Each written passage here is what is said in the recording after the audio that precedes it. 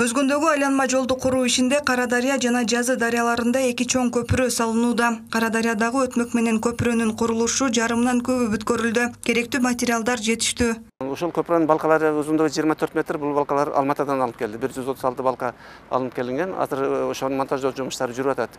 Эки пролету калды. Аны ал жумуштар жакынкы арада бүтөт. Жакынкы эки жуманын ичинде бул жумуштар бүтөт. Анан мунун үстүндө бетон төшөп анан асфальт төшөгөнгө даярдайбыз да бул ачылат.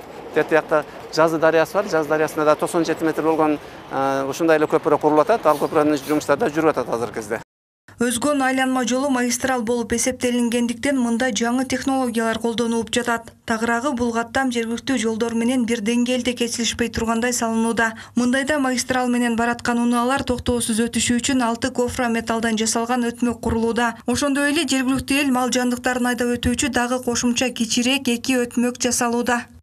Биз бул кыргызстанда азыр биринчи жолу ушул гофра металлын колдондук да. Габарити он анан беш кеңдиги он метр бийиктиги беш метр. Ичинен кенен тиги жүк ташуучу машиналер эки багытта өтө алат. Ал калыңдыгы алты миллиметрден болгон оцинкованный темирден жасалган аябай бышык материал. Курганга да аябай мындай бат болот экен. Биз аны бат баттана курап атабыз. Жаңы жол төрт тилкелүү болот. Туурасы отуз эки узуну он төрт чакырымга жетет. Учурда жол куруу ишинде үч жүзгө жакын жумушчу жүзгө жакын техника иштеп жатат. Азыр асфальттын биринчи катмары басылып баштады. Курулушту толук бүткөрүү ушул жылдын аягына пландалган. Жолдун бүтүшүн район эли чыдамсыздык менен күтүүдө. Эл үчүн кыйын болуп аткан учур эле азыр эми мына жол жакшы бүтүп атат. Мен барып бир эки жолу көрүп келдим. Өтө сонун. Жол аябай жакшы курулуп атат. Рахмат.